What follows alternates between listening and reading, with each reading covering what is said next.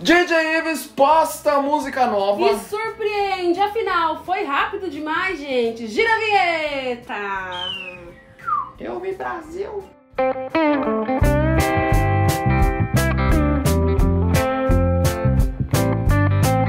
Aô, trem bonito! Bom, eu sou o Milhar Bento. Eu sou a Juliana. Você está aqui no canal TV, meu sertanejo, canal mais sertanejo do Brasil. Bom, galera, já vai deixando o dedo no like aí, rapaz. Vamos atingir 2 mil likes neste vídeo. Por favor, gente, também se inscreva no nosso canal. Vamos bater aí 940 mil inscritos. E também siga a gente lá no Instagram, que tem novidade assim o tempo todo, o dia inteiro tem novidade lá no Instagram TV Meu Sertanejo. Corre lá, tem muita notícia, todo dia tem notícia lá, além dos conteúdos que a gente publica aqui também, tá bom? Vamos falar dele! DJ Ives, o nome, podemos dizer que é o nome de 2021, 2020. Ele estourou diversos artistas, estourou diversas músicas. É. No piseiro, podemos se dizer, ou na música em si, podemos se dizer que DJ Ives é um nome de 2020 2021. É, ele conseguiu estourar o nome dele de diversas formas possíveis, né? Em 2020, de uma maneira muito positiva. Todo mundo queria DJ Ives em suas músicas. DJ Ives, você falar isso era sinônimo de sucesso, de coisas que estão dando certo. Ele acabou é, estourando diversos artistas, Sim. como Xande Avião, Zé Vaqueiro, Natanzin, Marcinho Sensação. Uma pancada de gente, turma, que ele acabou fazendo feats, né? Ou produções das músicas e alavancando uma galera muito grande. Já em 2021 a vida dele mudou, né, gente? Foi de cabeça pra baixo. Pra um artista, o que aconteceu com ele foi algo assim muito grave, foi uma barra muito pesada. E ele já teve ali, né, uma parcela de cumprimento com a justiça. Inclusive já colocou um texto nas redes sociais, né? Então, ele que meio que tá em casa agora, né? É, se não me engano, eu acredito que ele ficou preso, né? Podemos dizer, entre 3 a 4 meses, por aí, eu Por aí, acredito, né? Eu não, não lembro assim, mas foi por volta de 3 a 4 meses, né? É, ainda tá rolando o processo, acredito eu, né? Sim. E se saiu algum resultado, ainda não saiu na mídia, se ele vai ter que cumprir alguma coisa em relação a fazer serviços sociais e, e etc, né? Enfim, após ele sair, ele acabou ficando recluso na sua casa, sem publicar muitas coisas, até porque estava muito recente, É, né? E era um momento de reflexão pessoal também, né, gente? É uma pessoa, um ser humano que tá ali, E né? para ele entender também o que estava acontecendo aqui do lado de fora. Eu não devo nem imaginar como deve ser você estar dentro de uma de uma cadeia e você sair querendo se informar com tudo e para ver o que está acontecendo. Ele teve algumas decepções aí, né, de alguns artistas pararem de seguir ele depois É, os de ele- amigos, né? depois de ele ser solto, as pessoas voltarem a seguir ele porque precisam do trabalho do DJ Ives, porque DJ Ives fez o nome de muitos artistas aqui, que eu não preciso falar o nome, porque vocês já sabem quem é, quem são, né? As pessoas. Eita, Pega, menino. E o DJ Ives, na minha visão, ele surpreendeu por quê? Ele acabou publicando este vídeo aqui, ó.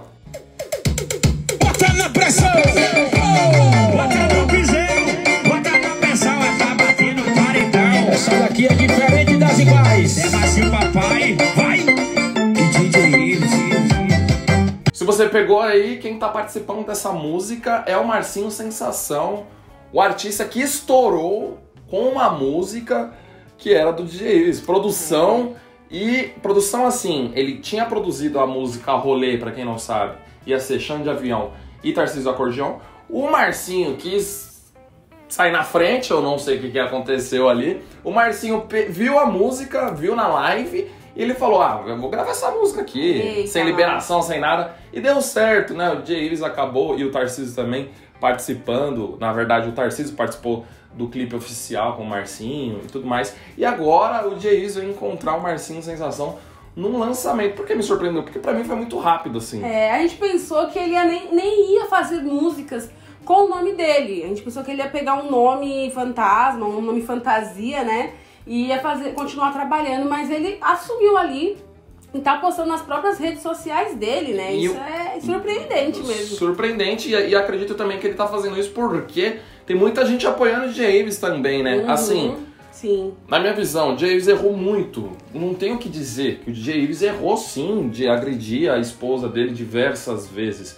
Mas também a gente tá olhando esse lado da história, né? O outro lado de uma pressão, às vezes, não. Nada pelo amor de Deus, justifica. nada justifica. Em mulher, você não coloca a mão. Ponto. Total, Juliana, mas assim, eu tô Ponto. querendo dizer que às vezes também as pessoas começaram a ver que a ex-esposa do DJ Ives também não tava 100% da razão, então as pessoas estão comprando uma ideia Eu acho que a gente tem que trabalhar o que a gente sempre fala, né? O perdão.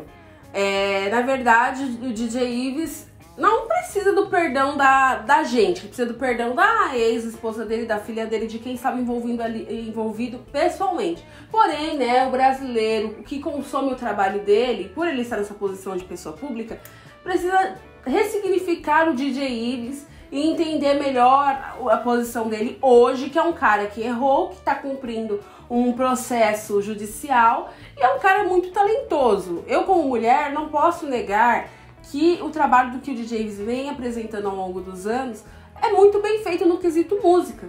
Então, no 2020, DJ Ives foi uma peça fundamental pro forró, pra, pro piseiro, pro tecnobrega, pro brega funk, pra bregadeira. Ele foi uma peça O fundamental sertanejo. pro sertanejo, pra ditar tendências e colocar essa tendência pra frente. Então ele fez parte de um futuro da música, né? Eu acredito que todo mundo merece uma segunda chance, tá, turma? É, tem gente que faz é, coisas parecidas ou até piores, e eu acredito que todo mundo merece uma segunda chance. É, é difícil, porém, acredito que todo mundo merece segunda chance. O mundo tá aí pra tentar, não é mesmo? Quem vai julgar é Deus agora. Exatamente. E aí, turma, o que vocês acharam do retorno aí do DJ Ives junto com o Marcinho Sensação? Comenta aí abaixo, deixa um like, se inscreve no canal. Tchau, obrigado, aperta o botãozinho vermelho. Fui!